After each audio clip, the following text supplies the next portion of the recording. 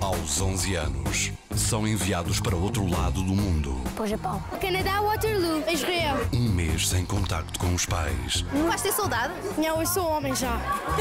Para conhecer o mundo e a vida tal como ela é. Arranjar amigos. Eu sou muito fácil de arranjar amigos. Dura, A comida do campo é terrível. real É o choque de culturas. e justa.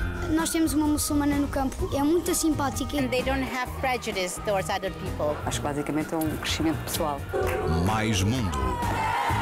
Uma reportagem de Alexandra Borges. Domingo, no Jornal das Oito. Pronto, eu sou daquelas pessoas que é completamente. Uh!